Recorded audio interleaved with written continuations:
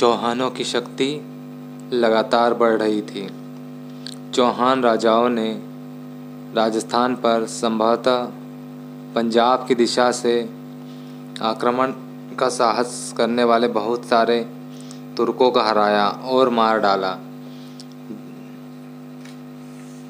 पंजाब की तरफ़ चौहान सत्ता के प्रसार के कारण अब इस क्षेत्र में गजनवी शासकों के साथ उनका टकराव हुआ।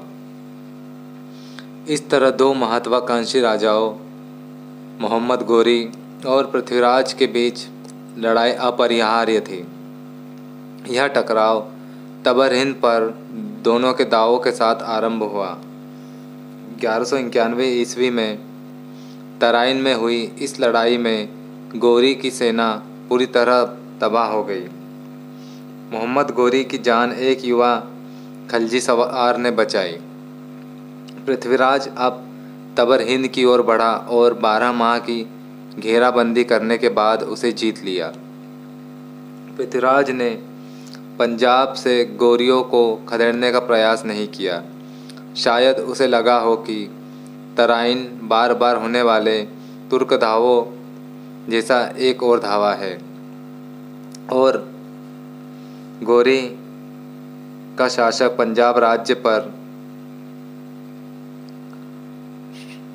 राज्य करने का संतोष कर लेगा। इससे मोहम्मद गोरी फिर से अपनी सेना को व्यवस्थित करने और अगले साल तक भारत पर एक विशाल आक्रमण करने का समय मिल गया।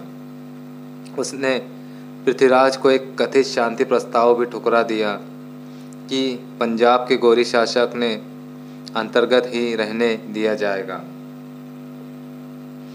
तराइन की दूसरी लड़ाई ग्यारह ईस्वी को भारतीय इतिहास में एक नया मोड़ लेकर आई। इस टकराव के लिए मोहम्मद गोरी ने सावधानी से तैयारियाँ की थी।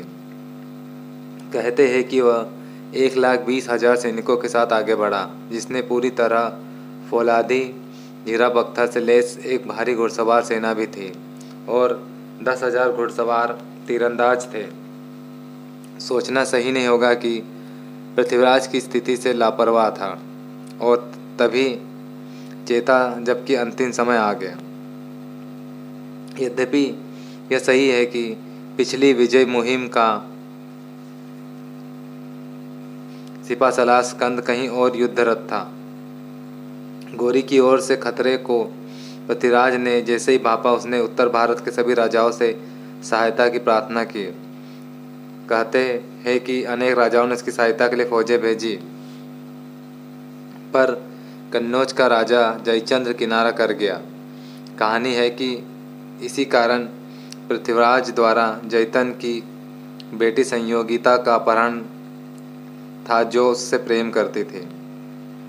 इस पर अनेक इतिहासकारों ने स्वीकारा नहीं है। इस कहानी को बहुत बाद में एक रोमानी कथा के रूप में भी कवि चंद्रवंदाई ने लिखा है और इनमें अनेक असंभाव्य घटनाएँ हैं। जैसा कि हमने देखा दोनों राज्यों के बीच पुरानी शत्रुता चल रही थी, इसलिए जयचंद का किनारा कर जाना कोई आश्चर्य की बात नहीं। कहते हैं कि पृथ्वीराज ने तीन लाख की फौज उतारी, जिसमें घुड़सवारों की एक बड़ी संख्या और तीन सौ हाथी थे। हो सकता है कि दोनों सेनाओं की संख्या अतिशयोक्ति हो। भारतीय सेना की संख्या संभवतः अधिक थी, पर तुर्क सेना का संगठन और नेतृत्व बेहतर था। यह लड़ाई घुड़सवार सेनाओं की लड़ाई थी।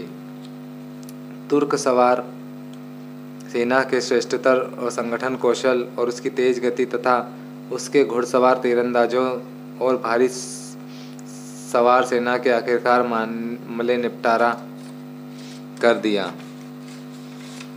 भारतीय सैनिक बड़ी संख्या में मारे गए।